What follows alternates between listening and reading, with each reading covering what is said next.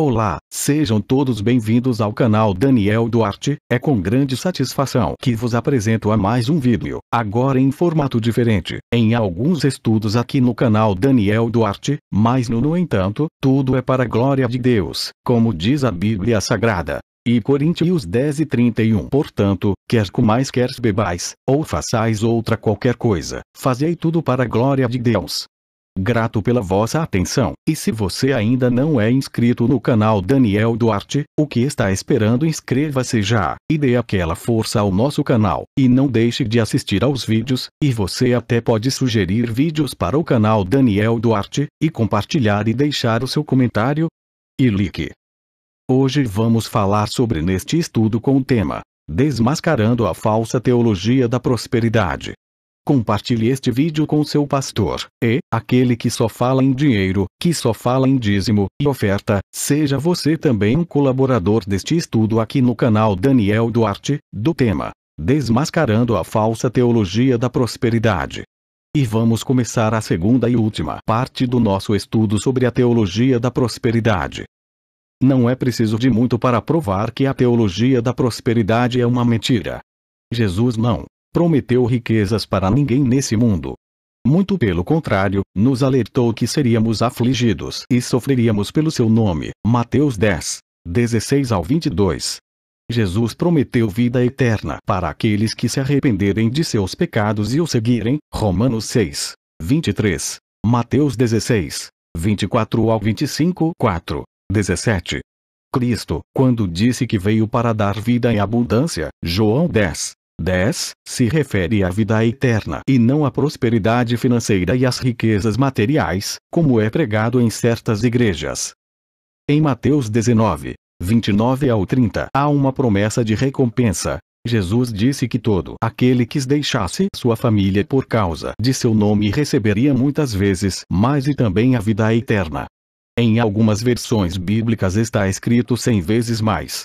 Essa promessa não foi destinada apenas para eles e sim para todo cristão, principalmente para os missionários, que ainda nos dias de hoje não deixam apenas seus interesses ou atividades de lado, como também dedicam todo o tempo de suas vidas para servir a Deus, muitas vezes abandonando o emprego e a família por amor ao Evangelho.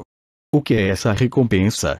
Receberemos em vida, os apóstolos e discípulos de Jesus deixaram para trás seus lares e suas famílias, passaram necessidades, foram perseguidos e martirizados. Atos 5, 17 ao 18, 7, 59 ao 60. Eles nunca foram ricos ou prósperos financeiramente. Atos 3, 6. Pelo contrário, o pouco que tinha dividiam entre os irmãos. Atos 4, 33 ao 35. Provérbios 28, 27. Em 2 Coríntios 8, 2 ao 9 fala sobre a oferta arrecadada para os cristãos pobres da Judéia, que mesmo passando por tribulações e sendo pobres ofertaram com grande generosidade voluntariamente. A Bíblia não diz que eles receberam em dobro o que ofertaram ou receberiam depois, como também é pregado por aí. Toda oferta deve ser oferecida com amor, não esperando receber algo em troca. Marcos 12, 42 ao 44 a Bíblia diz que em tudo eram mais ricos do que os outros, na fé, na palavra, no conhecimento e no amor para com o próximo. Eles não passaram a ser, eles eram mais ricos que os outros e eram pobres. O versículo 9 do mesmo capítulo afirma que Jesus era rico e se fez pobre para que nós nos tornássemos ricos por meio da pobreza dele. Jesus Cristo foi rico em vida humana. Não. A riqueza mencionada nessa passagem também não é material, é espiritual, é a vida eterna. Seremos transformados. Todos os salvos desfrutarão de riquezas e não mais passarão necessidades. Lucas 6, 20 ao 23, nem fome, nem sede nem dor alguma. Apocalipse 21, 3 ao 4. Jesus deixou sua glória e se fez servo para cumprir a vontade do Pai. Mateus 20, 28. Jesus se agrada que padeçamos por ele, que sejamos perseguidos e maltratados pelo seu nome. Mateus 5, 11 ao 12. Mesmo depois de tudo isso você pode se perguntar: e quanto a Abraão, Isaac, Jacó, Davi e Salomão? Eles eram reis de seus povos e também extremamente ricos. Eles foram escolhidos por Deus para guiar o povo segundo a promessa de Deus para Abraão. Gênesis 12, 2 ao 3, 13, 15 ao 16. Mas não amavam sua riqueza. Provérbio 3, 13 ao 15. Eclesiastes 5, 10. Deus apareceu a Salomão em sonho e perguntou: O que queres que eu lhe dê? Salomão poderia ter pedido qualquer outra coisa, mas pediu sabedoria para guiar o povo. 1 Reis 3, 5 ao 13. Deus se agradou disso e deu muito mais do que sabedoria a ele. Salomão foi o mais sábio dos reis, como também o mais rico de toda a história. Tudo é determinado por Deus, sua vida, sua salvação. Romanos 8, 29 ao 30, 9, 11 ao 18. Deus já tem seus escolhidos. Efésios 1, 4 ao 5 e 1, 11 Romanos 9, 19 ao 24. Sua vontade será cumprida. Isaías 46. 10, e nada nunca saiu e nem sairá do seu controle, Mateus 10, 29. Deus conhece o coração do homem, 1 Samuel 16, 7, Lucas 9, 46.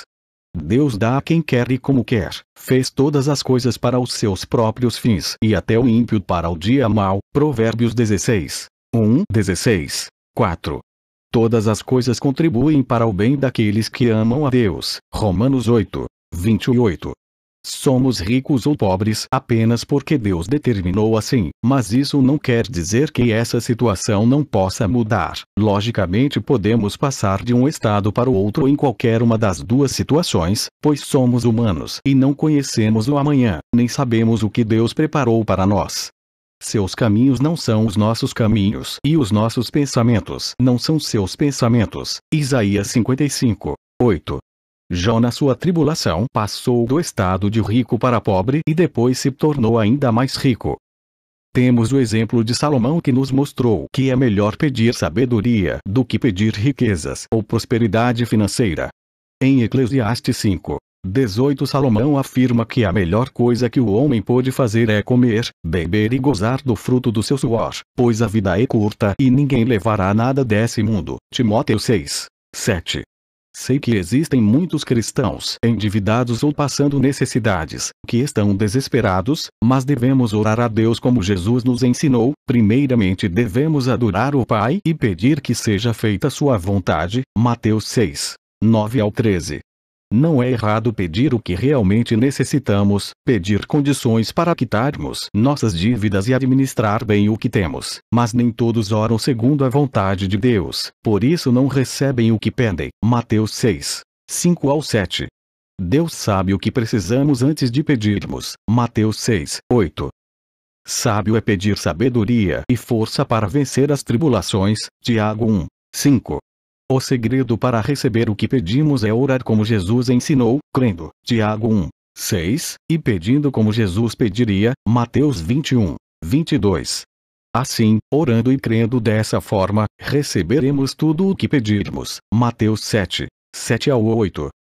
Também temos outros exemplos de poder, quando o mesmo não é usado sabiamente, ou é usado para o mal, pode nos levar a pecar e trazer graves consequências para nossas vidas.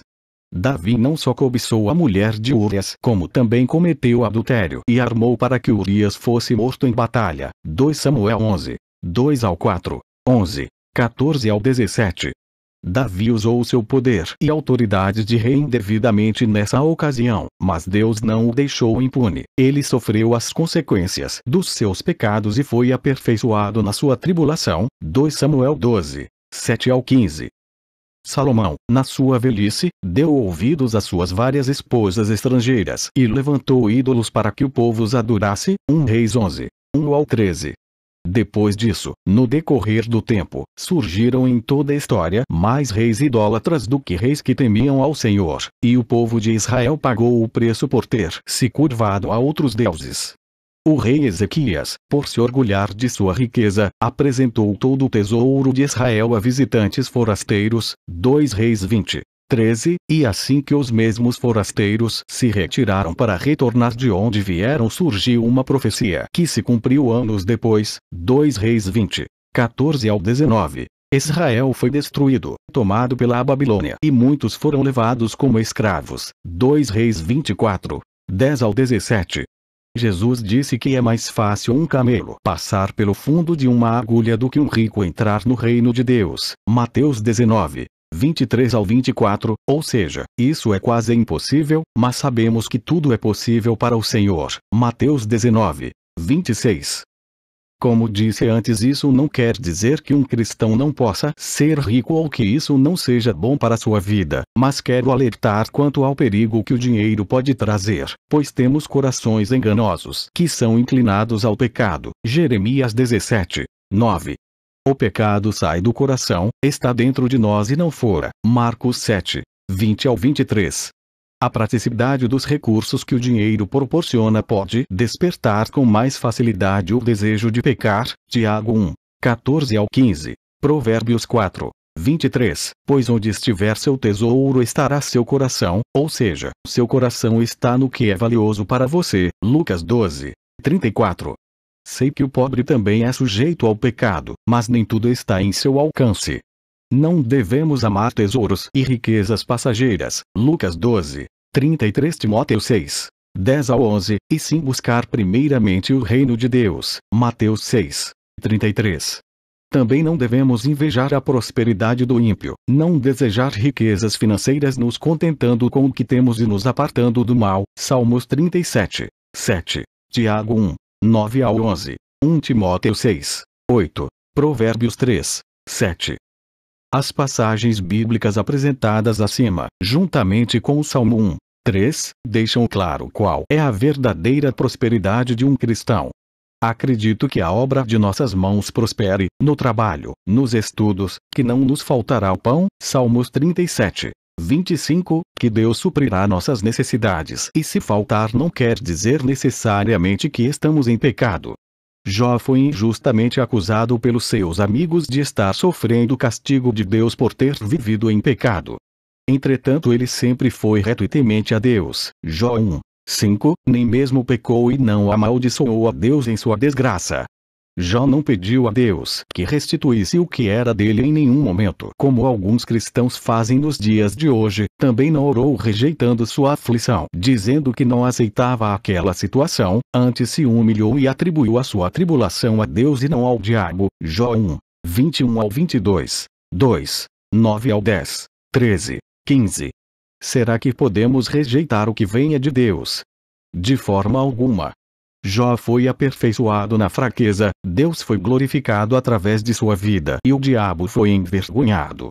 Quando nós cristãos passamos necessidades ou enfrentamos tribulações, estamos sendo aperfeiçoados por Deus e não castigados. Filipenses 4, 11 ao 14, segundo Coríntios 12, 9, pois nossos pecados já foram perdoados. Isaías 53, 11. Certa vez um amigo cristão me disse que muitos perdem tempo discutindo doutrinas e causando divisões, enquanto há muitas almas para serem salvas. Mas nem sempre isso é uma realidade. Acredito que a verdadeira batalha espiritual é combater e desmascarar seitas, heresias e falsas doutrinas através do poder da palavra. Efésios 6, 10 ao 13, 1 Tessalonicenses 1, 5. Muitos estão sendo enganados por não conhecerem o Evangelho, mas afirmo que devemos ser como o povo de Bereia, eles eram muito educados e ouviram a pregação de Paulo com muito interesse e todos os dias estudavam as Escrituras para saber se o que Paulo dizia era verdade. Atos 17, 11 ao 12. Temos que estar preparados para levar a verdade às pessoas, e não opiniões pessoais. 1 Coríntios 2, 4 ao 5, baseados em nossas experiências que não estão de acordo com as sagradas escrituras. Devemos analisar todas as coisas. 2 Tessalonicenses 5, 21. Pregações do seu pastor, aulas na escola bíblica, estudos e livros teológicos para não cairmos no mesmo erro. O próprio Jesus nos exorta a examinar as Escrituras em João 5, 39, pois é a Bíblia quem testifica de Jesus Cristo. Existem três tipos de supostos cristãos dentro das igrejas em geral.